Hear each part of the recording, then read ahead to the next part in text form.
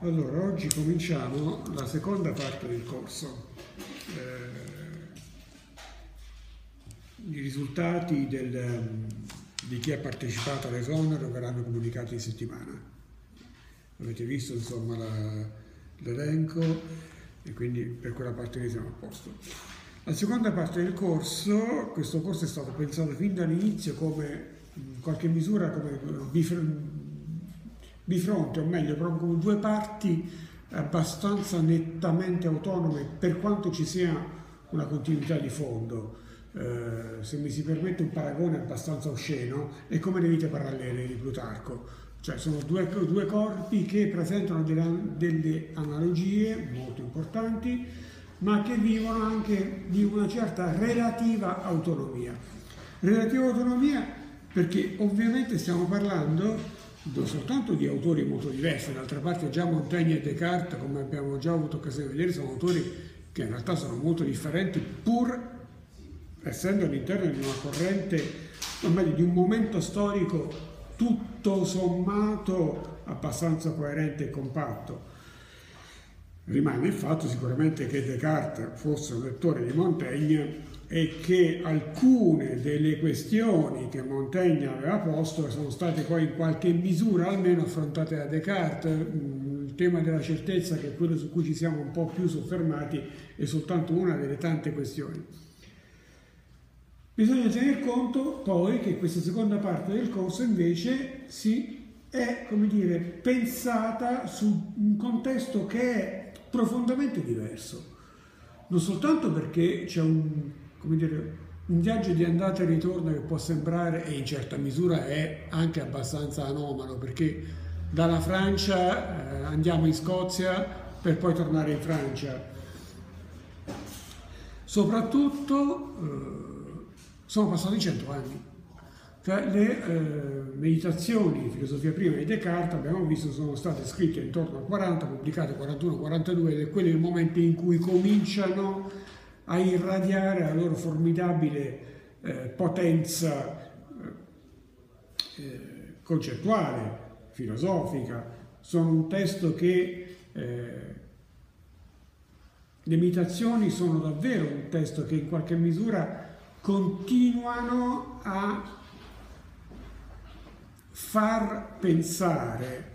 Eh, Descartes mh, è un autore che a volte esplicitamente, penso soprattutto a un importantissimo autore contemporaneo come Jean-Luc Marion, a volte implicitamente, abbiamo già visto tutte le questioni riguardanti la filosofia della mente, abbiamo accennato un po' comunque all'importanza, è un autore che continua a essere presente. E questo, mh, la novità, l'importanza del pensiero cartesiano viene avvertita immediatamente. Però i cento anni che passano tra le meditazioni di Descartes e il trattato sulla natura umana di David Hume, che venne pubblicato in tre libri, i primi due libri vengono pubblicati nel 1739, il terzo libro del 1740, da uno Hume ancora piuttosto giovane, lui era nato nel 1711, quindi insomma aveva 29, 28-29 anni quando pubblicò quella che rimane ed è indiscutibilmente la sua opera più importante, che non ebbe per niente successo. Eh, L'opera di Hume, il trattato sulla natura umana di Hume, rientra un po' nel novero di quelle straordinarie opere di filosofia che alla loro apparizione riscossero praticamente un interesse, non dico nullo, ma quasi, non, non fu particolarmente mh, dibattuta, o meglio, non vendette. La fortuna di Hume come filosofo, come scrittore successiva, in particolare, è dovuta alla sua storia in Inghilterra, che è un testo di grande importanza storiografica e politica, anche un notevole successo di pubblico, gli garantì quell'indipendenza economica che, anche qualcosa di più dell'indipendenza economica, che Hume, pur essendo di famiglia nobile, ma una nobiltà, una piccola nobiltà, comunque una nobiltà non particolarmente ricca e comunque era terzogenito, quindi essenzialmente gli spettò veramente poco, eh, a cui pure Hume insomma, teneva molto, Non dimentichiamo mai questi particolari che sembrano sciocchi ma non lo sono. Uh, tenete conto che uh, i filosofi spesso, finché la filosofia non è diventata una disciplina accademica nel senso più forte, e quindi e questo succede di fatto tra il 7 e l'Ottocento, essenzialmente l'identificazione di filosofo con professore universitario spesso di filosofia è una cosa recente. Eh, Kant, Hegel e così via Beh, prima avevano bisogno spesso di protettori, eh, di mecenati e così via, quindi a volte certe situazioni eh, che possono, possono, sembrare, possono sembrare strani, sono anche da comprendere all'interno di processi politici molto precisi. Per dire, un autore importantissimo come Thomas Hobbes fece di fatto il precettore e quindi fu all'interno di un'importante famiglia nobile.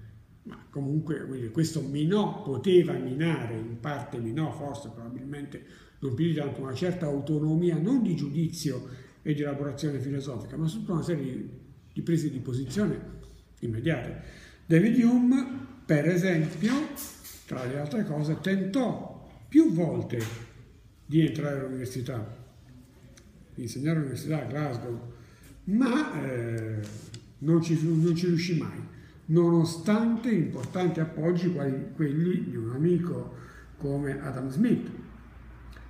Eh,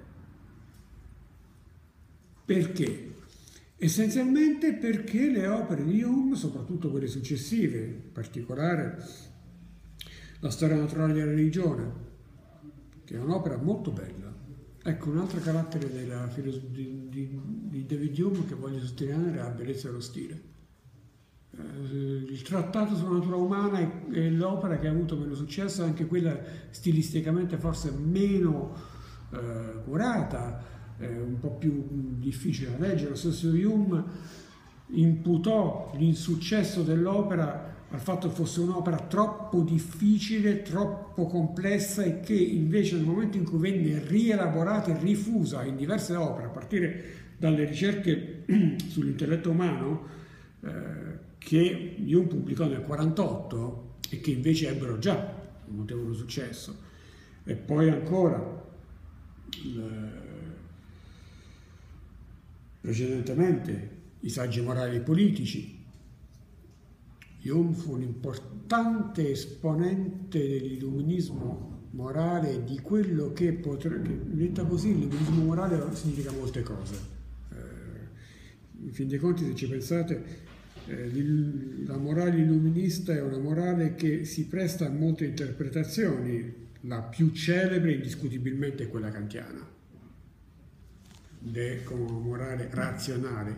In la morale non è razionale, in una morale fondata essenzialmente sulle passioni, ma come avremo occasione di vedere, Hume la stessa ragione, in fin dei conti, è, non è altro che una forma delle passioni. Ancora, l'opera per certi aspetti più bella, letterariamente non solo, di Hume, è I dialoghi sulla religione naturale. Sono, un'opera che viene pubblicata postuma. Eh, la storia naturale della religione che eh, aveva pubblicato nel 1957, aveva già procurato agli notevoli problemi con i teologi, con i religiosi e tutto sommato comunque col mondo culturale scozzese e inglese. Essenzialmente non era particolarmente gradita la posizione scettica, per non dire atea, di Hume. Eh, non era particolarmente gradita l'irrisione con la quale Hume trattava la religione rivelata, tutte le religioni rivelate, e questo gli procurò notevoli difficoltà. Oltretutto, eh, Hume aveva anche delle collaborazioni con esponenti, collaborazioni, rapporti di amicizia, meglio, con esponenti della cultura francese che erano decisamente sospetti. Era stato in primo anno, in primo periodo, tra il 34 e il 37 alla Flash.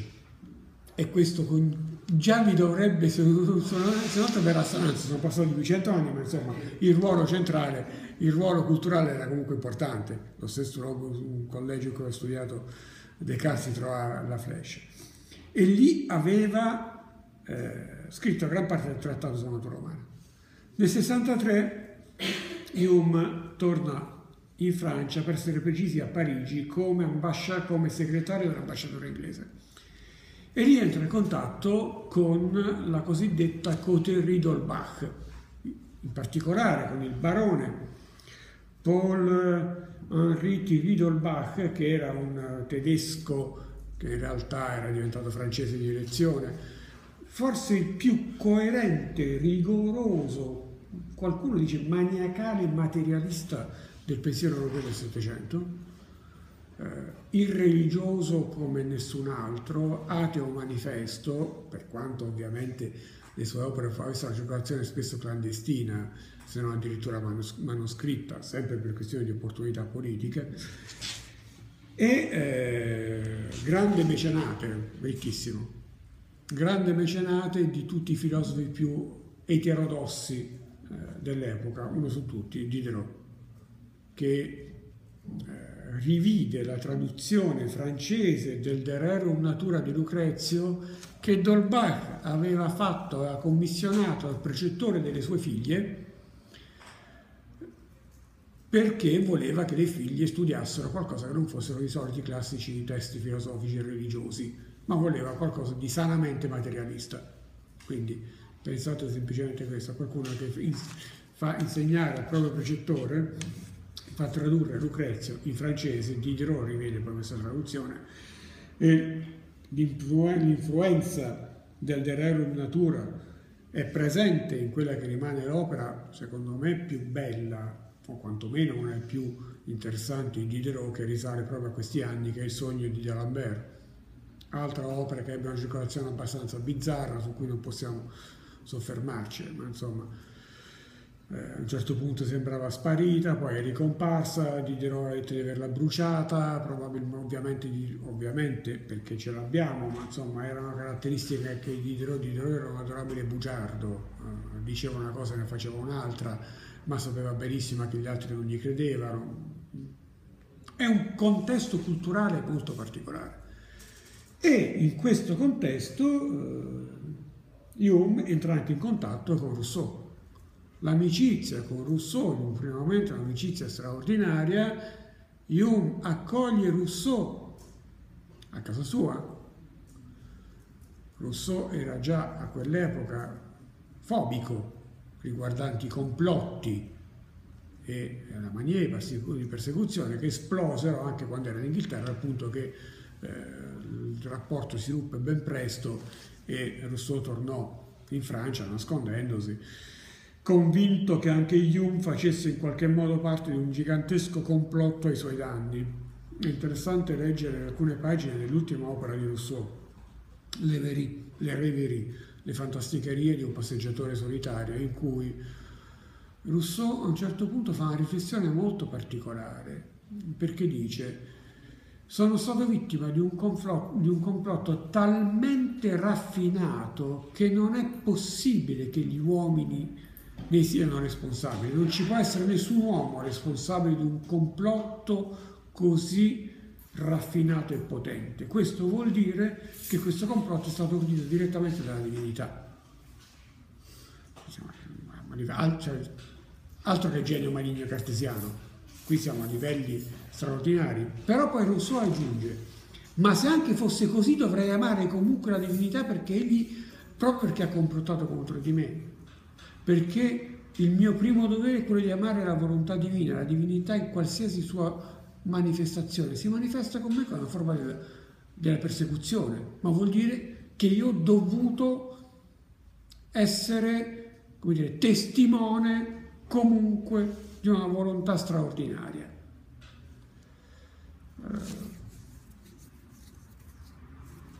Rousseau e Hume appunto ebbero rapporti eh, complessi, controversi, a un certo punto eh, appunto buon Rousseau se ne torna in Francia, Hume resta in Inghilterra e eh, morirà nel 76 probabilmente a causa di un tumore.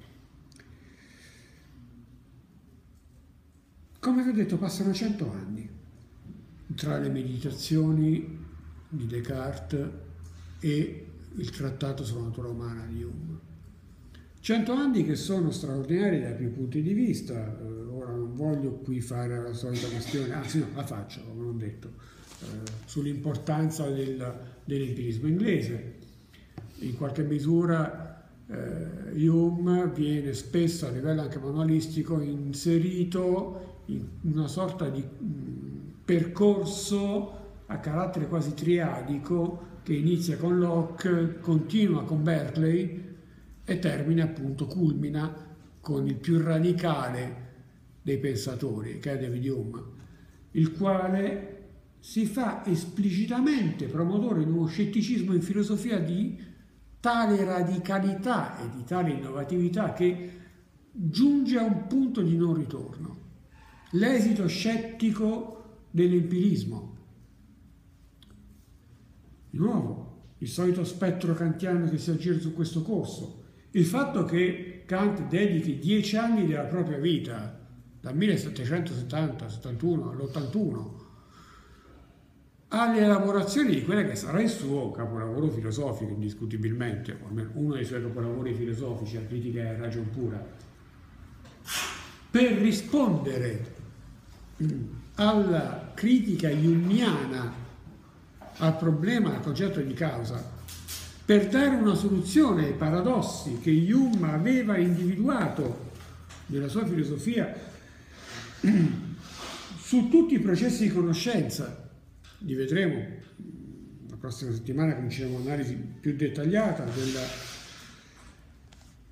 di un paio di parti, di capitoli del, del Trattato sulla natura umana. Voi avete la parte terza e quarta del libro primo il Trattato sulla natura umana è composto da tre libri.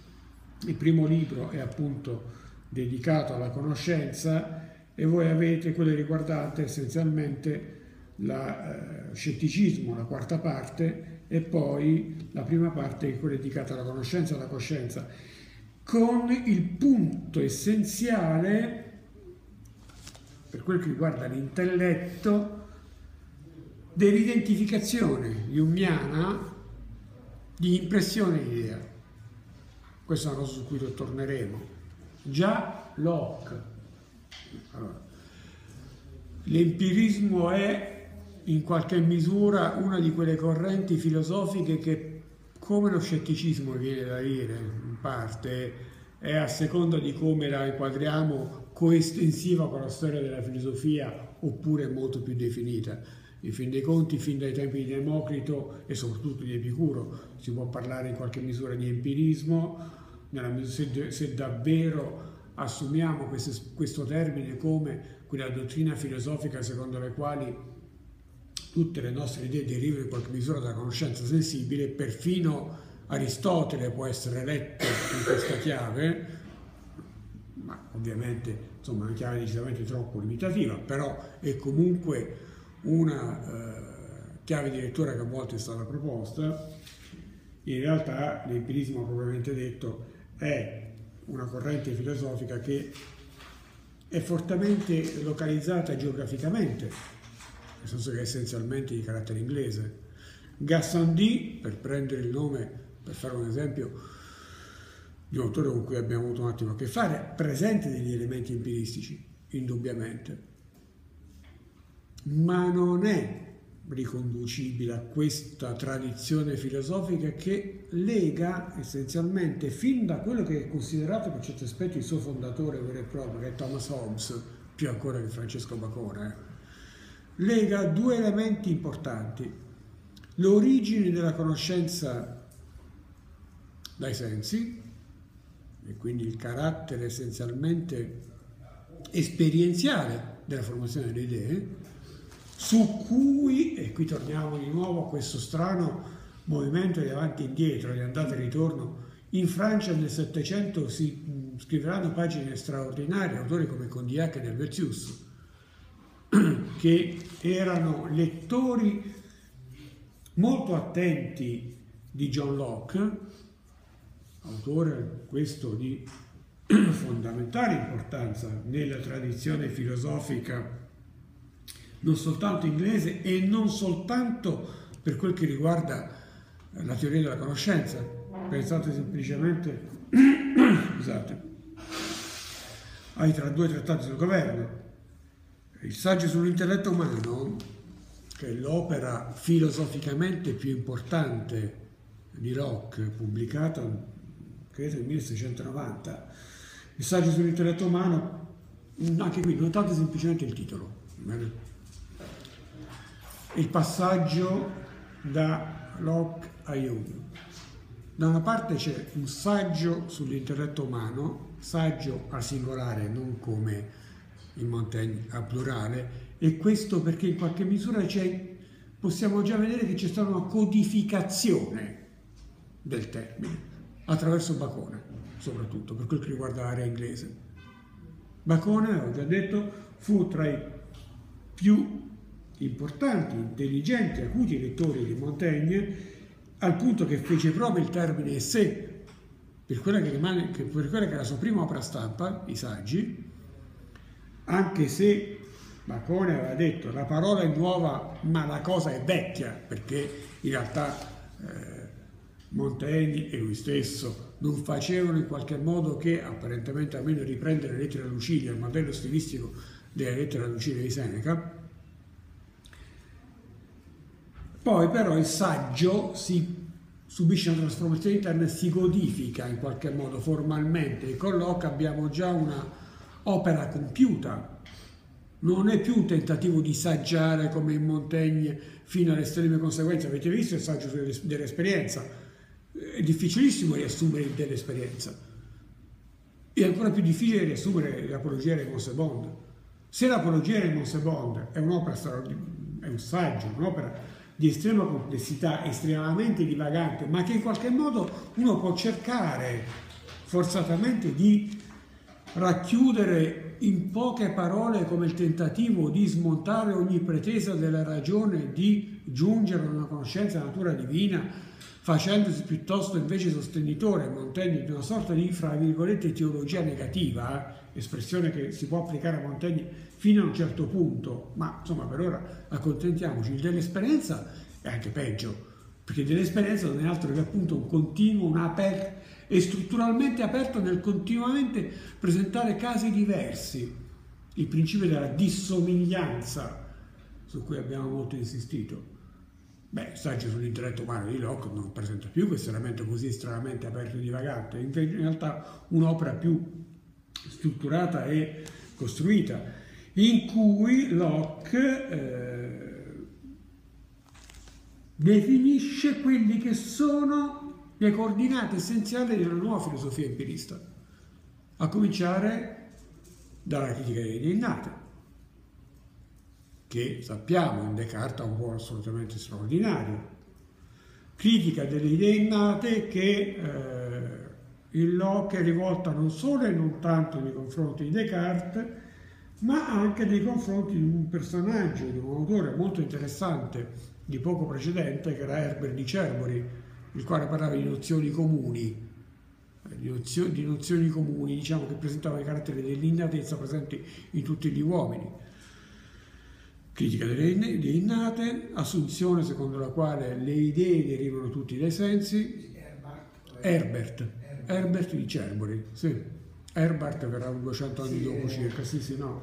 Era fratello del grande poeta John Herbert, notevole, autore di un'opera latina intitolata Il De Veritate, estremamente interessante, e in cui diciamo che eh, la posizione filosofica di Herbert di Cerbori, in, detta in poche parole, è tutta centrata sulla riflessione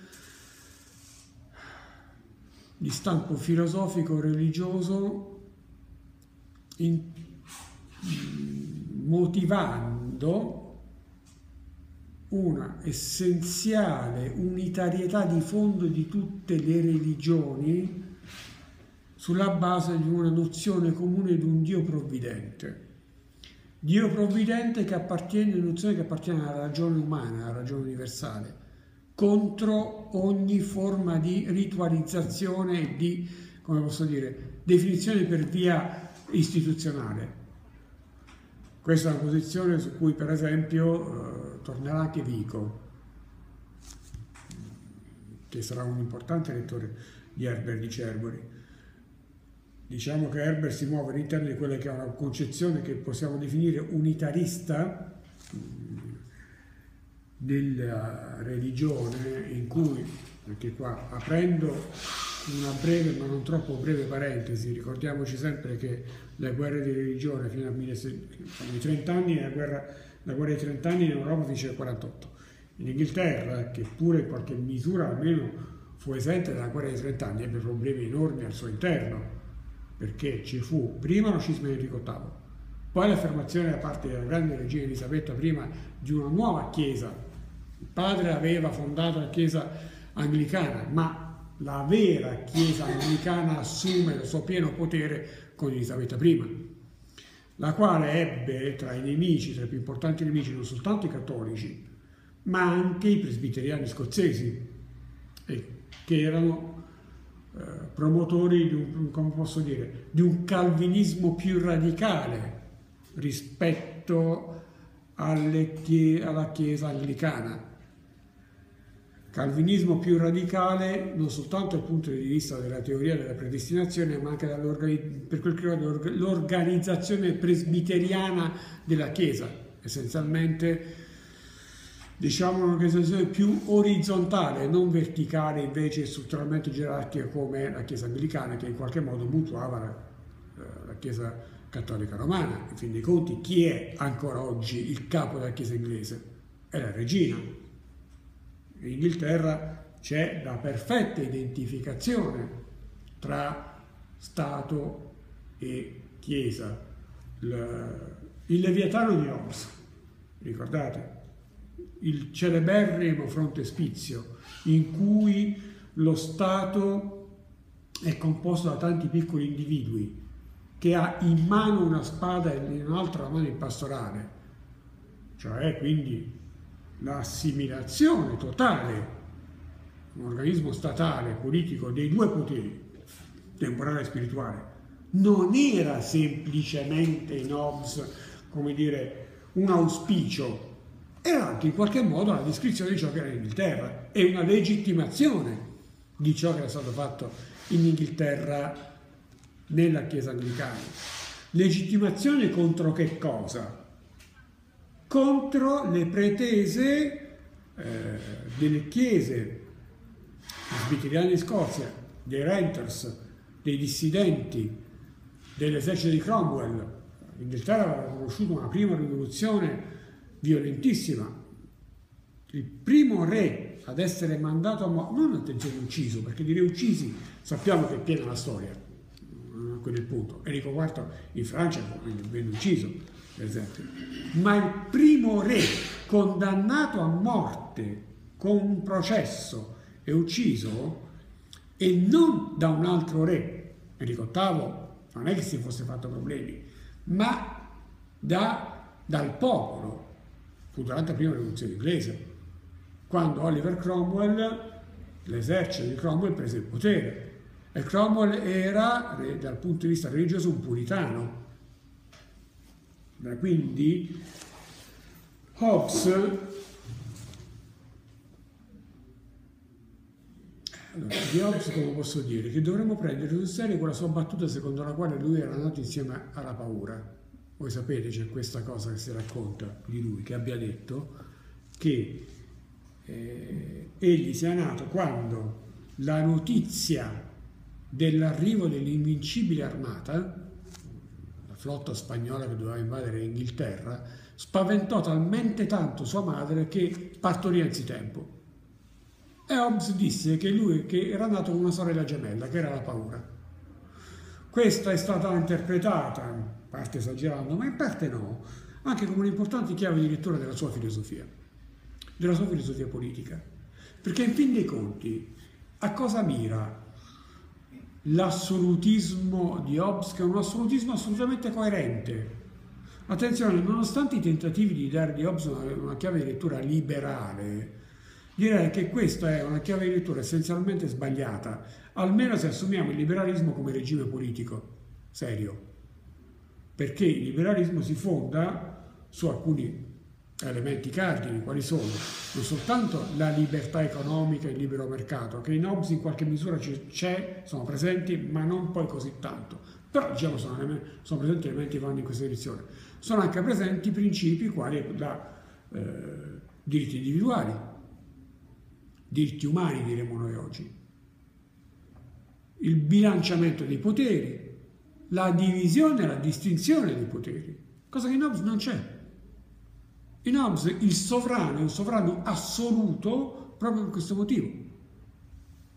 E attenzione, anche qui ricordiamo sempre, in Hobbes il sovrano non è necessariamente un individuo, non è necessariamente un re. Per Hobbes questo principio vale tanto per le monarchie quanto per le democrazie. Perché anche la democrazia è un regime di potere assoluto, L'assolutezza, l'essere cioè sciolto, è qualcosa che vale anzitutto nei confronti di un potere esterno. Ora, qual è il principale potere esterno degli stati? Essenzialmente la Chiesa, la Chiesa di Roma. Ora, anche qui, come lo stesso Locke dirà in quell'altra sua straordinaria opera che aveva detto sulla tolleranza, perché Locke diceva che bisogna essere tolleranti con tutti, soprattutto in ambito religioso, tranne che con gli atei e con i cattolici. Ma in realtà gli atei tutto sommato li poteva ancora gestire. Perché non si può essere tolleranti con i cattolici? E per quale motivo ancora adesso in Inghilterra per legge un cattolico non può diventare primo ministro? Vabbè, adesso è ancora portato evidentemente di una tradizione ma insomma, per quale motivo c'è questo principio? Voi lo sapete, Tony Blair si è convertito al cattolicesimo, ma dopo, anche parecchio dopo, e tra le questioni, le tensioni che ci sono state ai suoi tempi c'era anche il fatto che la moglie fosse cattolica. Ora, che la moglie del primo ministro sia cattolica è una cosa che viene accettata oggi, ma prima, soprattutto nel Settecento, non era necessariamente una cosa particolarmente apprezzata. Perché? Perché i cattolici dovevano la loro fedeltà a un altro sovrano. Cioè notate, di fatto l'interpretazione della religione, del ruolo del Vaticano, perché qui in questo caso si parla del Papa, qual è? Quello di un sovrano politico. Perché, e qui anche qua tutta una serie di questioni, perché era in questione la relazione anzitutto di carattere teologico-politica tra il potere papale, il potere spirituale e il potere temporale. Se volete tutta la questione ancora che risaleva al tempo del Medioevo su chi dei due dovesse legittimare maggiormente l'altro, cioè se l'imperatore, allora comunque il capo eh, politico, fosse autonomo, fosse legittimato per altra via o piuttosto fosse legittimato la volontà di Dio è l'unico vero eh, messaggero o comunque eh, l'unica vera interprete della volontà di Dio fosse il Papa. Ci sono questioni non da poco dietro. La riscoperta che nel Medioevo viene fatto del diritto romano, in particolare, non solo, eh, ma in particolare in Italia nell'età comunale, è anche un tentativo di fornire strategie di legittimazione politica alternativa. Essenzialmente il potere politico è un potere che deriva dal popolo, cioè c'è una legittimazione dal basso. Marsilio da Padova e Tommaso d'Aquino, per prendere due autori radicalmente diversi, si confrontano con questo tema. E come potete avete già capito, questo è un problema che attraversa i secoli le, le, riforme protestanti, le riforme a plurale, in questo caso è il caso di dirlo, protestanti, in particolare quelle, Calvin, quelle che derivano in qualche misura da Calvino, ripongono di nuovo il problema sulla legittimazione politica. Calvino insiste moltissimo, lo sappiamo, sulla legittimazione religiosa, però è una legittimazione che in qualche misura non avviene tramite l'autorità papale. Il buon Michele Serveto finisce come finisce, perché la sua filosofia e la sua teologia mettevano in discussione anche la legittimità politica di come Calvino pensava la relazione tra fede e autorità. I puritani, i renters, eh, gli estremisti diremmo oggi inglesi del Seicento, facendo, insistendo molto sul carattere autonomo delle chiese locali, dei presbiteri, mettevano essenzialmente in discussione la relazione di autorità con la Chiesa anglicana e quindi col sovrano. Guardate, se ci pensate, questo è un tema che in qualche misura eh, caratterizza tutto il, tutto il Seicento, inglesi soprattutto, ma non solo, in qualche misura questo ritorna, si ritrova anche in Olanda, per esempio, dove cioè il potere sovrano statale centralizzato, vuoi nella forma francese, vuoi nella forma spagnola, in qualche misura è meno forte o quantomeno più forti sono gli elementi di tensione. Allora, Hobbes, abbiamo detto, il discorso, caratterizza questa conformazione dello Stato proprio come risposta alla paura. Cioè, perché gli uomini, che ricordiamoci, sono liberi, Rousseau direbbe sono liberi per natura. L'uomo stato naturale è un uomo libero. Essere liberi in Hobbes significa non avere alcuna autorità superiore e quindi essere totalmente giudici riguardanti i propri diritti e i propri doveri. Ma questo significa anche non avere alcuna legge a cui rispondere che non sia semplicemente la propria volontà. L'unica legge di natura è quella della lotta di tutti contro tutti, l'homo homini lupus più volte citato. Ma qual è il problema della libertà, di questo tipo di libertà in Hobbes? Qual è la libertà suprema, secondo Hobbes? Cosa mi hai chiesto?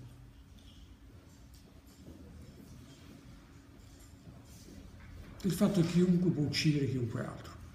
Se io voglio qualcosa, me lo posso prendere. E se tu ti opponi, io posso legittimamente, attenzione, questo è il punto, eh, legittimamente ucciderti.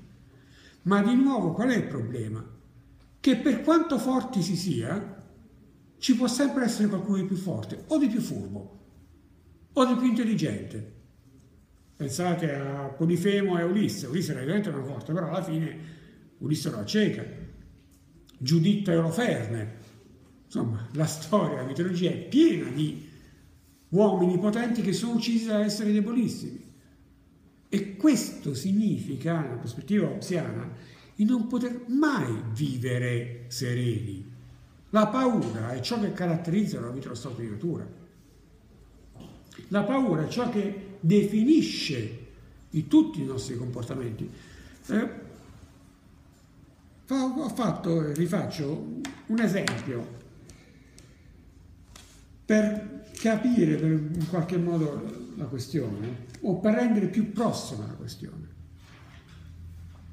Voi immaginate di vivere in un posto qualsiasi, a Lecce, in cui vengono abolite immediatamente tutte le norme riguardanti il traffico. Per cui non soltanto non esistono più i sensi unici, ma non esiste alcun tipo di normativa che possa tranquillamente circolare sulla sinistra o sulla destra, prendere i sensi vietati senza problemi, camminare con l'automobile su marciapiedi e così via. Uscireste di casa? Io mia figlia non la farei mai uscire di casa, ti chiudo in casa, non esiste, neanche i miei gatti. Perché? Perché cosa è? Su cosa confidiamo noi uscendo di casa in questo proposito? Che per quanto ci possa essere qualcuno che per sbatataggine o per malignità non rispetta le norme, per lo più, nella maggioranza dei casi, le norme del traffico vengono rispettate. Cioè, se io devo attraversare la strada e guardo a destra, se c'è un senso unico, io guardo a destra, magari per sicurezza guardo anche a sinistra, ma se sono sul marciapiedi non mi aspetto di essere investito da un hammer, perché sul marciapiede le automobili non dovrebbero passare. Cioè ci sono delle cose che pur non eliminando del tutto la paura, noi potremmo dire abbassano il livello dell'ansia e lo rendono gestibile. Quindi il motivo per il quale gli uomini si sottomettono, fanno un patto di soggezione a un potere superiore, alienando tutti i propri diritti e tutti i propri poteri. Attenzione, perché il diritto equivale di fatto col potere. Quindi io rinuncio a tutto, cioè tutti i miei poteri, per aver garantita la sicurezza. Sicurezza che significa che appunto non la sicurezza assoluta che non succederà mai niente, perché questo appunto non appartiene al mondo imperfetto degli uomini, ma che posso stare relativamente tranquillo che non possa avvenire nulla legittimamente che non sia previsto dalla legge. Per cui che cos'è permesso nella prospettiva ruziana? Tutto ciò che non è esplicitamente proibito per legge. E quindi tutto ciò che non, non incontra un no. Questo significa essenzialmente ricordarsi sempre che se lo Stato decide per motivi di sicurezza o per motivi superiori di togliere tutte le mie proprietà, ha il diritto di farlo. Cioè non c'è un principio di diritto che gli impedisce di farlo. Semplicemente per lo più non succede perché altrimenti verrebbe a cadere, se lo Stato si comportasse sempre così, verrebbe a cadere in qualche misura la sensatezza stessa. Ma in Hobbes viene totalmente revocato quello che era un principio fondamentale del pensiero filosofico politico del Cinquecento, che era il diritto di resistenza. Il diritto di resistenza che anche qui in qualche misura si può far risalire al Medioevo, addirittura prima, che in qualche modo è già è adombrato quantomeno nella Magna Carta, era stato esplicitamente ri, rielaborato nei contesti soprattutto calvinisti. Intendiamoci, non è il diritto di resistenza quello a cui immediatamente pensiamo nei termini di popolo che resiste a un tiranno, ci sono molte mediazioni ma Hobbes per sicurezza lo elimina completamente. Non si ha mai il diritto di complottare contro lo Stato. Forse si ha il diritto di, questo Hobbes non lo dice chiaramente, ma si lascia intuire di, di fuggire, perché anche qua, ricordiamoci un elemento, la prospettiva hobbesiana non è una prospettiva di monarchia universale. La prospettiva hobbesiana è una prospettiva di uno Stato assoluto con i confini ben definiti. Ecco perché lo stato di natura di guerra di tutti contro tutti, dice Hobbes, si presenta a un livello superiore come nelle relazioni fra gli stati. Non c'è un'autorità suprema quale poteva essere l'imperatore, per dire, nella prospettiva di Dante, che a un certo punto interviene e dirime le questioni c'è quello che era chiamato l'appello al cielo. L'appello al cielo tornerà come elemento formidabile il Locke. L'appello al cielo essenzialmente è la rivolta. Un popolo che si ritenga eccessivamente oberato, eh, la cui regime politico è eccessivamente violento, eh, ha il diritto di fare appello al cielo, l'ora di rivoltarsi e dire a questo punto sarà Dio a decidere chi di noi ha ragione perché arriverà al vincitore, a chi ha ragione, che è in Locke, ma non in Hobbes, un principio essenziale. Ma in Locke, di nuovo, fate caso ai titoli, dopo il Leviatano, se parliamo di politica, abbiamo i due trattati sul governo, cioè l'accento viene posto non più tanto sullo Stato, ma sul governo, quindi su una forza, un aspetto specifico. Non soltanto. Se Hobbes aveva centrato la sua filosofia straordinaria, filosofia naturale, sul concetto di corpo, il de corpore, la grande opera hobbesiana, il de corpore e poi il dicive, il corpo e il cittadino, in Locke abbiamo a che fare con i saggi sull'intelletto umano e quindi sulla definizione di leggi che avvengono, come dire, partendo da una elaborazione filosofica differente. Allora, Hobbes, vi dicevo, cosa fa? Definisce coerentemente la politica nei termini di un controllo assoluto da parte dello Stato della vita degli individui, sapete qual è il punto limite? Che è una cosa molto interessante. Il punto limite Hobbes lo individua, ovviamente nella proprietà, individualismo proprietario e così via, ma proprietà non è soltanto proprietà privata come proprietà dei beni, dei beni ma è anche in un certo senso proprietà del, pro, del proprio, nel caso di Stato. Cioè, uno Stato può legittimamente, eh, insisto su questo termine perché è importante, legittimamente condannarmi a morte. E non c'è bisogno per forza che abbia compiuto un crimine, sì, c'è una giurisprudenza e quindi il, il, il patto di unione e di soggezione eh, si regge proprio sul fatto che se io non compio nulla di illegale posso stare tranquillo che non vengo colpito dallo Stato. Ma se lo Stato decidesse per qualche motivo, perché mi reputa pericoloso, pensate, scusate, ai reati di opinione. Un grande contemporaneo di Hobbes e di Locke, grandissimo poeta John Milton, una delle opere più belle e più importanti è l'aeropagitica, che è una formidabile difesa della libertà di stampa. Libertà di stampa e anche libertà d'opinione. Cioè la legittimità da parte di chiunque di dire come la pensa senza per questo essere condannato. Ma quella che dovrebbe essere, in teoria, per noi un dato acquisito è abbastanza scontato, era ai tempi di cui stiamo parlando un elemento di una radicalità straordinaria. Il controllo sulla stampa è un controllo formidabile che gli stati hanno sempre cercato di esercitare. Dico cercato perché poi sappiamo benissimo come tutt'altro che facile.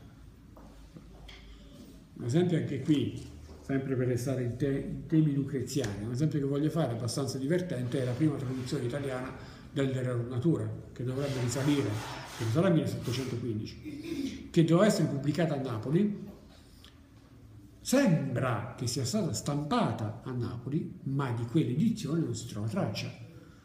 Nel senso che la caccia a quei volumi è stata talmente ferrea e talmente puntuale che non è scampato nessun, nessun volume.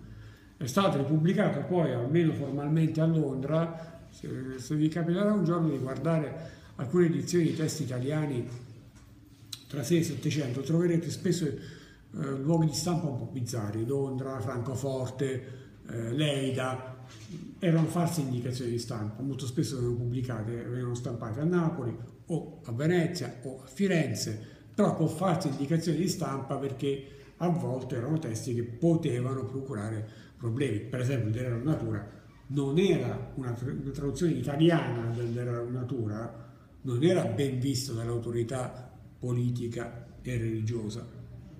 Anche qui, scusate, ho detto 1715 della normatura traduzione italiana, pensate che la prima traduzione francese vera risale appunto a 50 anni dopo, 1769 più o meno, eh, se non sto andando adesso un po' a memoria, la traduzione di Lagrange rivista da Diderot questo per dire come continuasse a creare problemi, quello che in fin dei conti non era altro che, fra virgolette, un'opera di poesia, vabbè, eh, opera di poesia molto letta, ma in latino.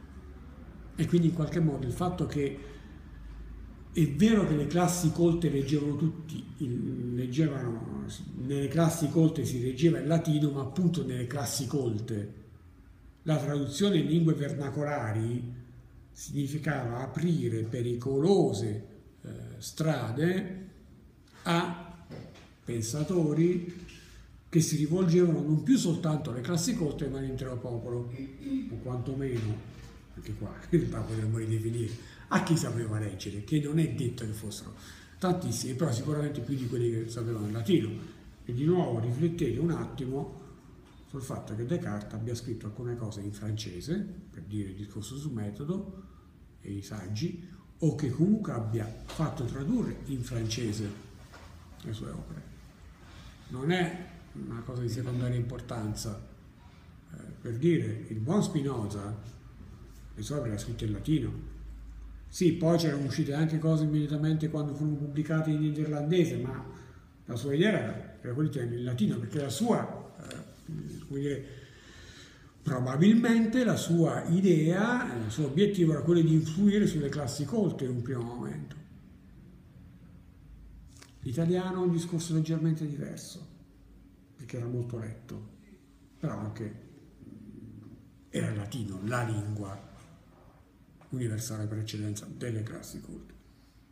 Lo stesso Hobbes, che era un formidabile filologo, o quantomeno un grande latinista, un grande grecista, eh, appunto che tradusse per esempio alcuni dei saggi di Bacone in latino quando era sottosegretario, le sue opere più belle sono scritte in inglese e in latino era lui stesso spesso che approntava la traduzione, un latino splendido.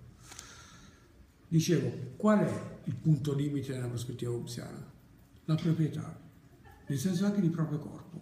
Lo Stato può condannarmi a morte, ma non può impormi di uccidermi. E non può neanche chiedere a mia moglie cioè quindi quando al nucleo familiare fondamentale di tradirmi eh, testimoniando contro di me. Ma la questione veramente essenziale è proprio quel punto lì. Perché lo Stato non può impormi di uccidermi? Cioè, scusate, riflettete un secondo. Se dobbiamo pensare a una figura di filosofo per eccellenza all'antichità, pensiamo a Socrate.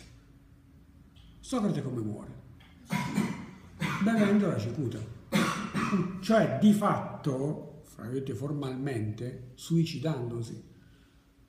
Non per obbedire a una sentenza, siamo d'accordo, è stato condannato a morte, tu ti devi uccidere, tu devi liberare, ma tu, e cittadino ateniese, dice vabbè, ho rispettato le leggi quando queste mi erano state favorevoli, devo rispettarle anche adesso, anche se sono vittima di un errore, perché queste stesse leggi che mi hanno cresciuto vanno sempre rispettate. Ripensate un secondo, solo un secondo a Montaigne dell'esperienza. Quel punto in cui dice che appunto le leggi vanno osservate non perché sono giuste, ma perché sono leggi.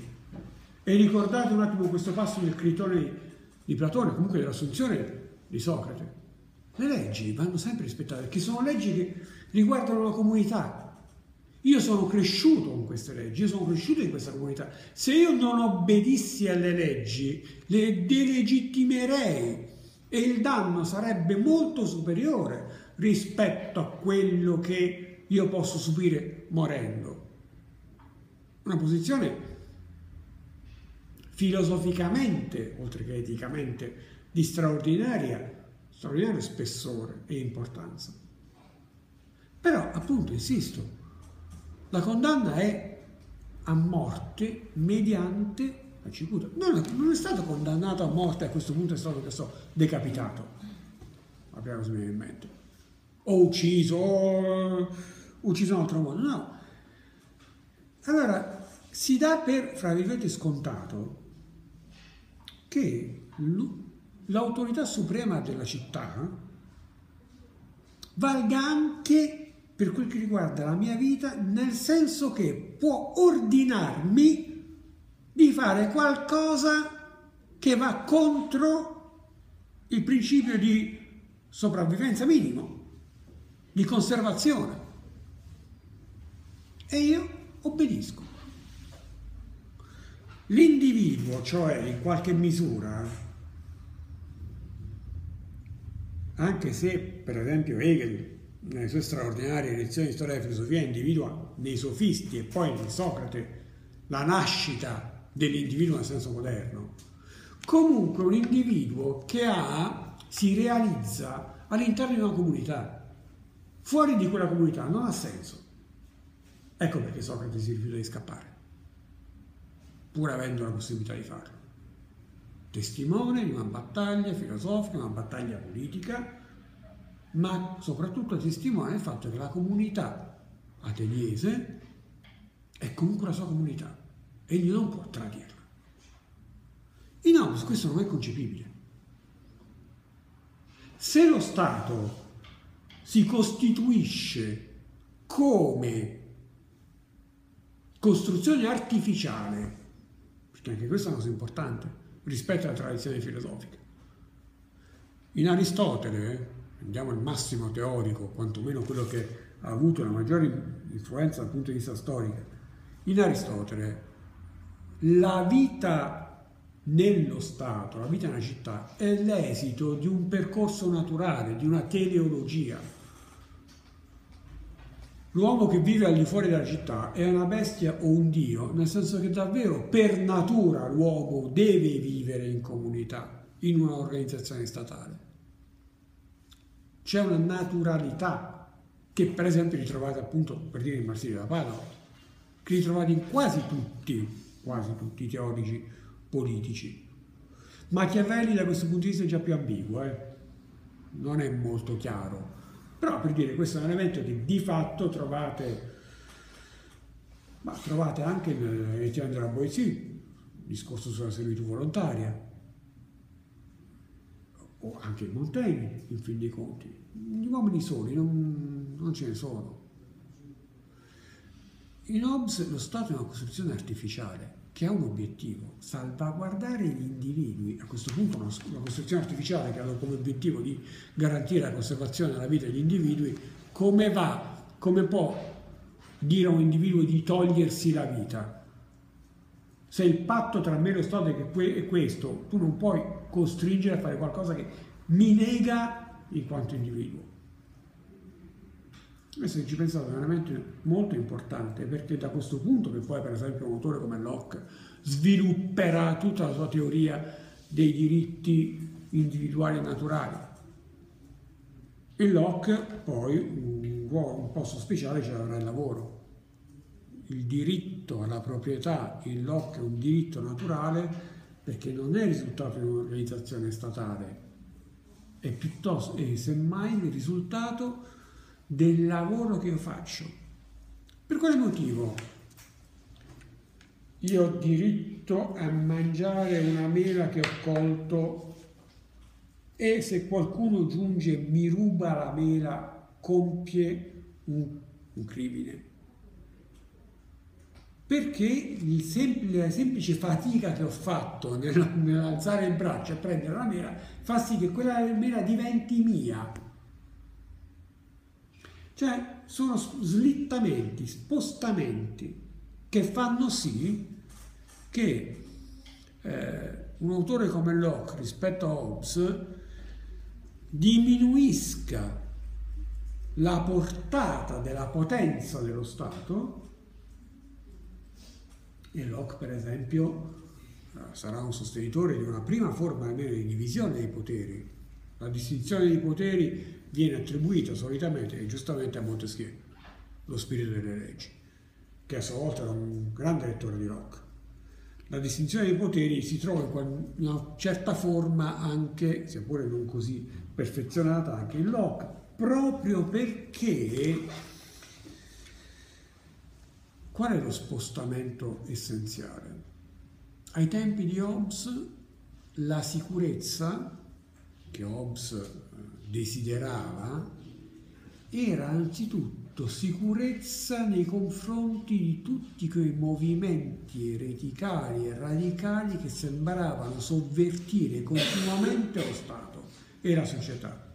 Era sicurezza nei confronti delle rivolte, era sicurezza nei confronti delle violente guerre intestine, delle guerre civili, cioè il contesto è questo, appunto la rivolta di Cromwell, l'uccisione di Carlo, di Carlo I.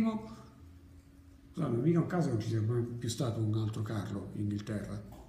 Non si sa neanche se l'attuale diventerà mai re, sarebbe il secondo. Il primo fu quello ucciso legittimamente tramite processi, eccetera, eccetera. Non, anche qua non è una riflessione da poco. Questa.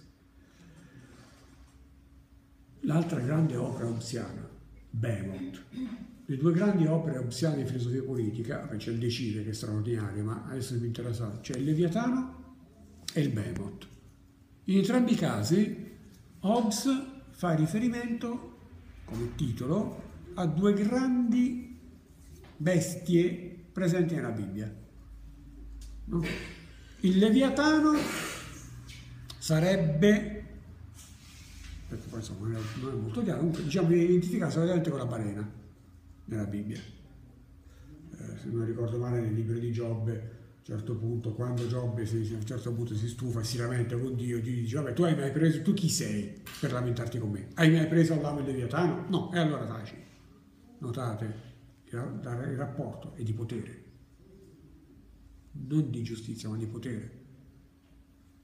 Di nuovo, tema montegnano, che in parte è anche calvinista. È giusta la volontà di Dio perché è volontà di Dio. La legge va rispettata in quanto legge, non in quanto giusta. Chi sono io per dire se una legge è giusta o no? Hai mai preso all'amo un Leviatano? No, e allora che vuoi? Ma il Leviatano in Hobbes si caratterizza appunto come un essere unitario, costruito da tanti piccoli, ma unico, con una sola testa. Il Behemoth sarebbe nell'Antico Testamento un mostruoso animale di terra, non di mare, probabilmente rinoceronte, a volte viene raffigurato così, che si caratterizza però nella prospettiva opsiana da che cosa? Dall'avere molte teste. Il Behemoth è il grande dialogo filosofico dedicato alle guerre civili.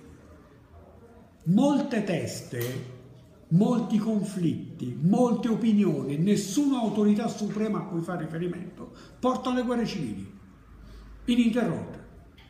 Per mettere finalmente a tacere, per mettere, sì, per far regnare la pace, è necessario che a comandare sia uno solo.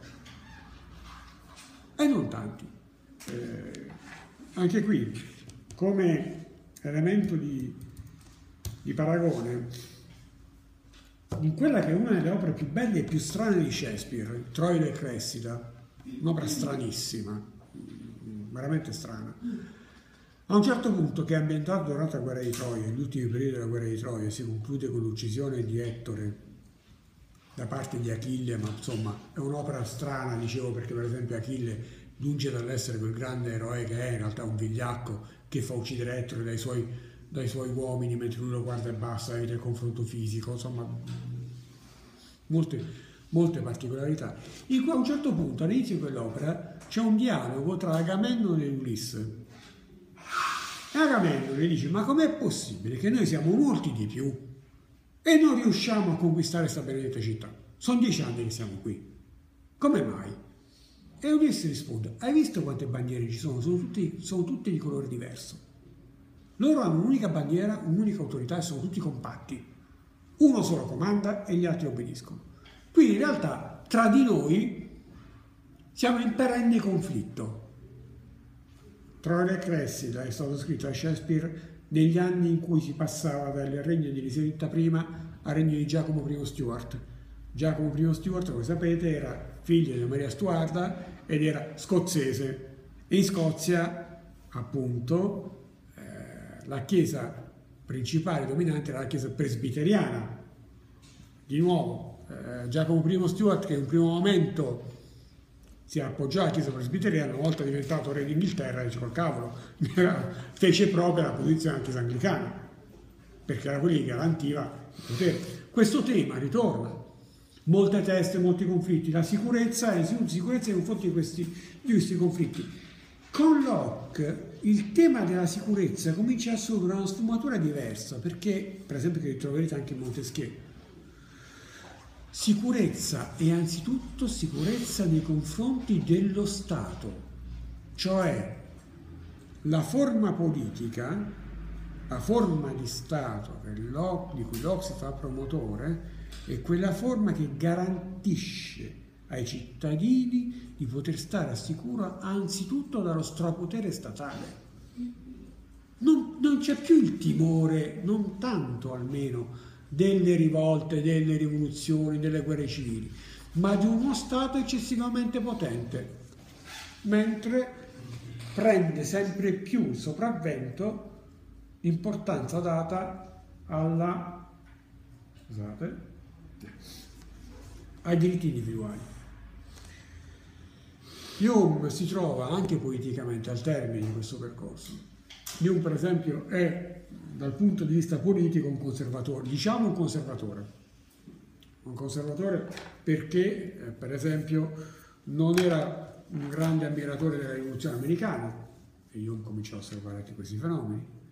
Eh, le posizioni di Hume in ambito filosofico-politico erano essenzialmente quelle di conservazione dello status quo, della tranquillità, ma anche, di nuovo, con un regime statale temperato. Le passioni sono qualcosa che quando vengono scatenate non sono controllabili. Per questo una educazione filosofica delle passioni è importante.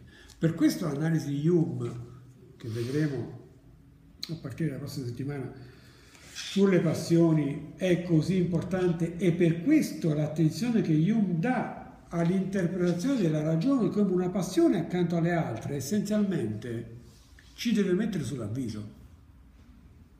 Lo scetticismo jungiano è uno scetticismo di carattere conoscitivo anzitutto, e questo è fuori discussione, ma è anche uno scetticismo, come posso dire, che ci ricorda come la presunzione di giungere alla verità in ambito etico è una presunzione pericolosa. Qual è l'unica verità in ambito etico cui l'uomo può veramente attingere? essenzialmente la propria felicità, il proprio benessere e ciascuno di noi è giudice del proprio benessere della propria felicità. Ciascuno di noi sa che cosa mi procura piacere, mi fa stare bene. Altro elemento di riflessione molto importante, Hume, che lo accomuna appunto ai radicali francesi da questo punto di vista. L'autonomia di giudizio dell'individuo su temi essenziali quali per esempio il suicidio. Allora, vi ho detto poco fa, uno Stato non può imporre, nella prospettiva obsiana, a un uomo di uccidersi. Può impedirglielo? Questo è l'altro tema, perché poi c'è l'altro corrispettivo. Nella eh, legislazione inglese dell'epoca, e non solo dell'epoca in fin dei conti, ancora fino a pochi anni fa, il tentato suicidio era un crimine, si veniva punito con la, con la prigione. Nel caso il, il suicidio riuscito eh, era un crimine che veniva punito con l'espropriazione dei beni, dei familiari e così via. Allora, lì si va a toccare un tema, come potete ben comprendere, che è estremamente eh, controverso, perché riguarda di nuovo il confine di legittimità tra libertà individuale e organizzazione, se vogliamo, società, comunità. Cioè, quel tema che ho avuto occasione di dire viene definito in termini, secondo me, più lucidi di tutti da Montesquieu, non a caso nelle lettere persiane, ma che è presente anche Hume, è presente in moltissimi altri autori. Eh, un italiano, Alberto Radicati di Passerano, per esempio, ha affrontato lo stesso problema. Cioè, non è soltanto un problema, attenzione ragazzi, non è solo un problema di carattere religioso. Qui non è solo in questione la credenza o meno sull'immortalità dell'anima. Per cui eh, la questione del suicidio viene inquadrata come una legittimazione o meno dell'individuo di gestire la propria vita nei confronti della Chiesa. Questo è uno degli elementi, ma non è solo e forse non è neanche più importante. Qualche decennio dopo, sì, un secolo dopo circa, quando Stendhal scriverà La Certosa di Parma, concluderà la sua opera dicendo il suo protagonista Fabrizio del Dongo che seguono tutta una serie di vicende tra cui la morte del figlio dice se non fosse stato un così sincero credente Fabrizio del Dongo si sarebbe suicidato appunto era un sincero credente quindi per lui il suicidio non era, non era eh, accettabile notate l'identificazione curiosa se ci riflettete il problema viene posto esclusivamente in termini religiosi. O meglio, Fabrizio del Dongo, che durante il romanzo ne ha combinate di tutte, quindi francamente non è certo un modello di virtù civica, non si suicida, non si uccide perché è un sincero credente, quindi in base a una scelta autonoma fondata su questioni di fede. Che c'è di strano? dal nostro punto di vista più nulla, perché siamo oramai abituati a pensare in termini di relativa, almeno autonomia, tra poteri spirituale e temporale. In realtà non, quel romanzo Stendhal fa capire come non si metta neanche in questione l'aspetto puramente legale o di comunità. Personaggi di Stendhal sono personaggi che se vogliamo definire in una maniera moderna sono brutalmente anarchici. Julien Sorel, Fabrizio Del Dongo e gli altri non è che abbiano una grande stima del potere costituito delle leggi. Nelle cronache italiane, eh, bellissimo Stendhal fa un grandi, una grandissima esaltazione dei briganti italiani, come quelli che si oppongono alla legge e al potere costituito, quindi questo già a dire come siano cambiate alcune cose. Notate però che il buon Stendhal è da questo punto di vista un allievo tutt'altro che sciocco di Destudio di Tracy e di Montesquieu. E lo dice lui stesso, eh? in molti punti, cioè questa è una posizione filosofica sua. Nel Settecento il dibattito sul suicidio riguardava non soltanto la relazione con la religione, ma anche con lo Stato, anche con la comunità. Essenzialmente a chi spettava l'ultima parola? per autori come Hume e come Montesquieu, che si rifacevano in qualche misura alla tradizione stoica, e qui tocchiamo un altro tema che, su cui insomma, non, avremo, non abbiamo occasione di fermarci, ma avete già visto anche a proposito di Montaigne, eh, il recupero di, una filosofia antica che continua ad essere sempre attuale e spesso non necessariamente attraverso la lettura diretta dei filosofi come Crisippo, faccio per dire, ma spesso attraverso la lettura dei grandi divulgatori romani. Eh, Seneca, altro grande filosofo, suicida. Vero è che se Nerone ti dice ucciditi, non ci pensi su tante volte, perché l'alternativa probabilmente è peggiore. Ma, come viene raccontato da Tacito, la morte di Seneca diventa una morte esemplare nella misura in cui è un'affermazione della credenza e della convinzione senechiana sull'immortalità dell'anima, per cui proprio perché l'anima è immortale, io posso decidere di uccidermi perché tanto il corpo è soltanto un incontro.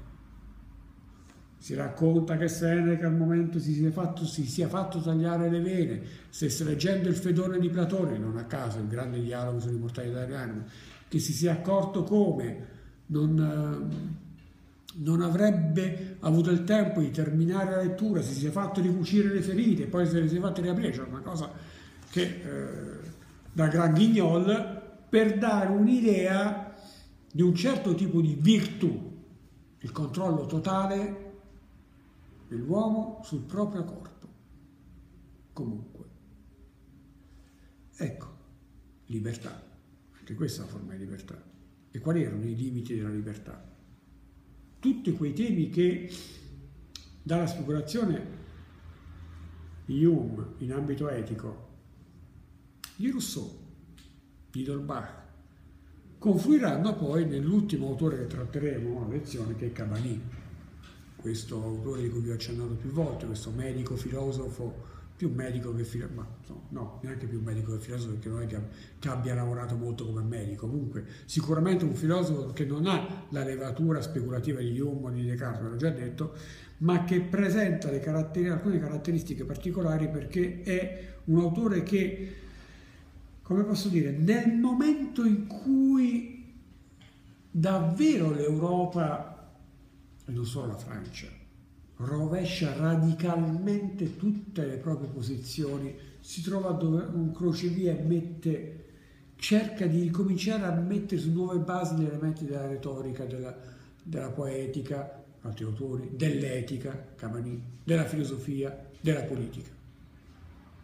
Quando Cavani scriverà i rapporti del fisico e del morale dell'uomo, ve l'ho già detto, intende per morale non semplicemente l'etica, tutt'altro, ma essenzialmente quello studio riguardante tutti i fenomeni mentali. Lo stesso vale per Jung. Il titolo completo del trattato sulla natura umana è Trattato sulla natura umana riguardante, diciamo così, eh, tentativo di introdurre lo, lo, il metodo sperimentale di ragionamento riguardanti anche a proposito dei soggetti morali, argomenti morali. Cioè, perché questo tentativo di introdurre il metodo sperimentale di ragionamento, metodo di ragionamento sperimentale meglio, nelle materie morali. E quali sono le materie morali? Non sono l'etica, sono le sfere del mentale. E quindi, di nuovo, le passioni, le idee, l'intelletto, come formazione dei pensieri e così via. Metodo sperimentale, vedremo la prossima settimana, poi che è un riferimento molto preciso al metodo newtoniano. Questo, come ho detto, fra i cento anni che sono passati, sono stati straordinari rivolgimenti dal punto di vista concettuale, filosofico, politico, ma anche dal punto di vista scientifico. Il Descartes grande filosofo e scienziato si scontra con un altro titano del pensiero, si scontra metaforicamente con Newton, in realtà riserva anche Leibniz, ma vabbè questo è un altro discorso, e la fisica newtoniana diventa a un certo punto il paradigma vincente. Il metodo sperimentale newtoniano è quel metodo che mm, si impone contro le pretese metafisiche cartesiane contro questi sogni della ragione che sono sogni abbastanza assurdi. Un autore come Cabani alla fine del Settecento continuerà a, dirsi mh, sostenitore di un metodo sperimentale contro le speculazioni metafisiche. Qual è l'elemento che però Cabani, sulla scorta di Hume, rivaluterà? alcuni, tra cui essenzialmente uno, lo scetticismo nella scienza che però viene ridefinito in ambito medico da Cabani come critica dei grandi sistemi e piuttosto rivalutazione una prospettiva probabilistica che è molto vicina, vedremo, a alcuni approcci iumiani. L'uomo non può conoscere nulla con certezza riguardante l'ambito della medicina e non solo, ma con un buon grado di probabilità. Secondo elemento, la prospettiva filosofica, medica di Cavani è una prospettiva, ne abbiamo già parlato, essenzialmente noi potremmo dire sintomatica, sintomatologica o indiziaria, molto costruita sull'idea di eh, disciplina che lavora con gli indizi per costruire fenomeni in cui la relazione tra soggetto conoscente e oggetto conosciuto non, non, è una semplice relazione di scoperta, mettiamola così, non ha la prospettiva cartesiana della conoscenza delle essenze. In Descartes alla fine una, la res cogitans viene pensata e conosciuta nella sua essenza. Cavani questo è possibile. Noi non conosciamo mai le malattie. Quando anche riuscissimo a individuare qualche elemento patogeno, una qualche causa, noi oggi diremmo un qualche batterio, un qualche virus, ma l'identificazione tra il virus e la malattia, anche nella relazione, nella relazione di causa-effetto, è una relazione, Jung direbbe, puramente temporale, statistica forse. Ma il virus di per sé non è la malattia. Sono enti concettuali diversi. Come lavora il medico? Quindi, a cosa serve la conoscenza di eventuali cause? Oggi noi diremmo ovviamente a trovare la terapia, ma scusate, questa è una discussione che possiamo fare oggi che abbiamo degli strumenti straordinari a partire dagli antibiotici e così via, ma allora che non esistevano assolutamente queste eh, medicine di questo genere così potenti, su cosa si lavorava? Sulla prevenzione e quindi sulla capacità di, ecco, questo è un tema importante, di ridefinire su basi scientifiche, razionali, l'organizzazione della vita della comunità. Quindi, per esempio, il medico che diventa in qualche misura un consigliere fondamentale del politico. Come vanno organizzati gli ospedali? Perché gli ospedali sono divisi in reparti? Per quale motivo non si mettono uno accanto all'altro determinate persone? Perché si cerca di dare una struttura eh, così definita? Questo è il portato, è il risultato in realtà di questi, degli anni di Cabanè. Quella cosa assolutamente banale che è la cartella clinica è stata inventata da un amico di Cabanè, che era Filippo Pinel, medico Filippino era, fu anche tra i primi a iniziare quella cosa che è così odiosa negli ospedali, che è la visita mattutina dei medici che passano, guardano il malato, guardano la cartella clinica, a volte gli parlano, a volte no, e poi vanno via. Perché il controllo quotidiano. Ma su cosa si basava questa idea? Sulla verifica puntuale di uno sviluppo storico della malattia viene identificata semplicemente come qualcosa che viene costruita, la malattia, è il risultato di una costruzione concettuale tra un osservatore e un evento osservato. Non esiste in un certo senso la malattia in sé, è una costruzione. Anticipiamo una cosa che diremo di Jung la prossima settimana, quando cominceremo a affrontare le cose. Esiste la percezione in sé, No. Nel momento in cui qualcosa viene percepito, il Hume, è molto chiaro. L'idea è una percezione illanguidita, quindi una forma depotenziata di percezione. L'idea del rosso è qualcosa di più debole del rosso, della percezione che ho del rosso, perché la percezione che ho del rosso è qualcosa di immediato, forte che si impone. Ma contemporaneamente con il percepito si costituisce anche il percipiente. Il soggetto che percepisce e che quindi pensa non è qualcosa di sostanziale e precedente al percepito. O meglio, che poi con Hume il discorso sembra non è mai così semplice. È ovvio che lo è. Non è che io vengo a esistere nel momento in cui percepisco qualcosa. Questa è una posizione, una posizione quasi berkeleyana es, es percipi in, eh, in Berkeley, le cose esistono nella misura in cui vengono percepite, voi esistete perché io vi percepisco, io esisto perché voi vi percepite, ma nel momento in cui percepisco qualcosa mi percepisco come percipiente, in qualche misura giungo all'estero, non è così il punto. Jung dice è ovvio che esiste, non è questo, ma che io me ne renda conto, ma la consapevolezza, il conoscermi come qualcosa di pensante è un punto diverso. E come, dicevo che uno degli elementi importanti di trasformazione anche di, di certezza e di scetticismo, in Montaigne essenzialmente, per esempio, l'esistenza del mondo esterno non è un problema particolare.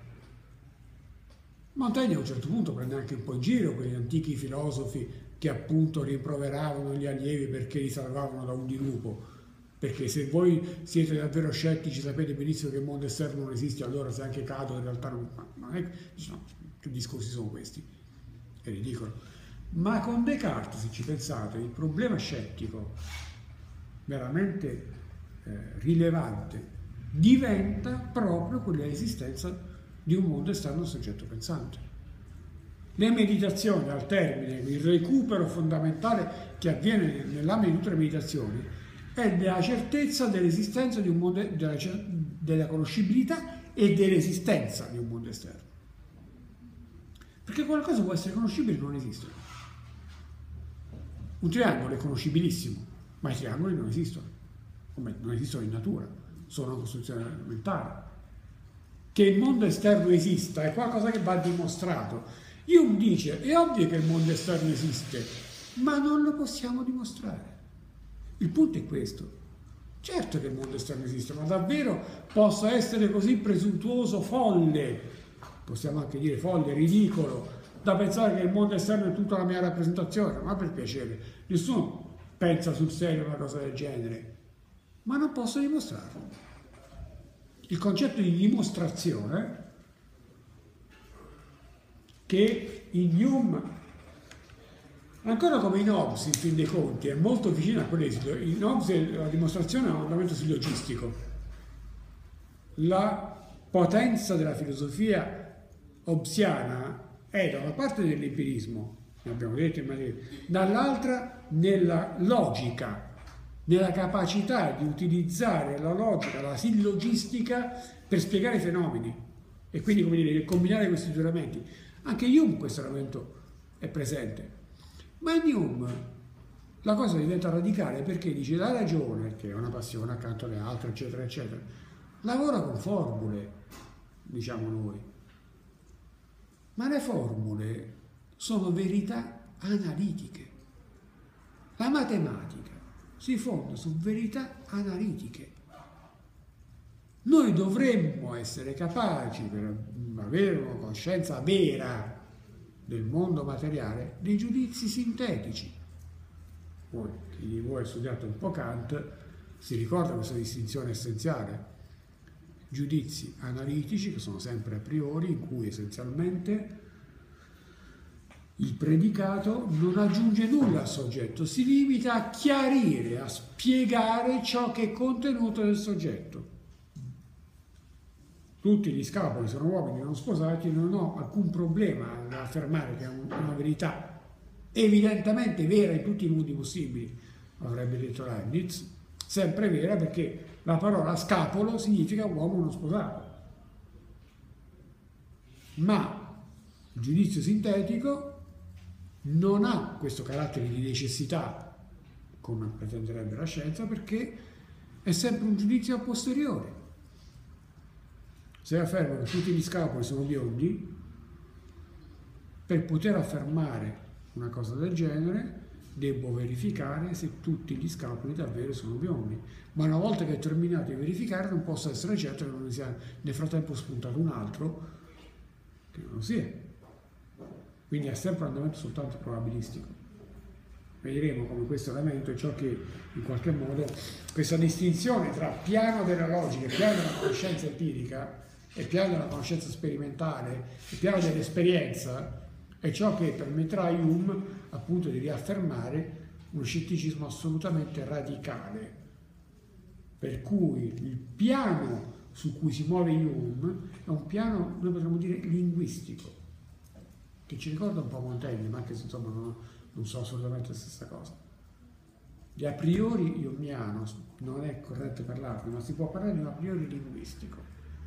Le nostre abitudini, di nuovo, le nostre consuetudini, di nuovo, il nostro linguaggio è costruito su una serie di assunti che non sono mai stati messi in discussione e che sono funzionali. Purché non si abbia la pretesa che siano veri, nel senso di corrispondenti a qualcosa al di fuori del linguaggio, al di fuori della consuetudine, al di fuori dell'abitudine. E qui insomma sul tema dell'abitudine mi fermo perché ne abbiamo parlato anche abbondantemente precedentemente. Va bene, ci vediamo martedì prossimo.